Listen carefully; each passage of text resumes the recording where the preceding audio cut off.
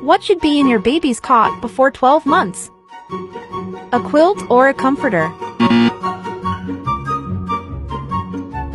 Teddy?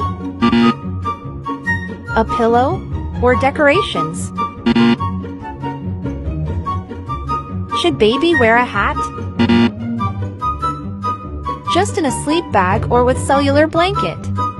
A firm certified mattress? A clear cot? No cot bumpers.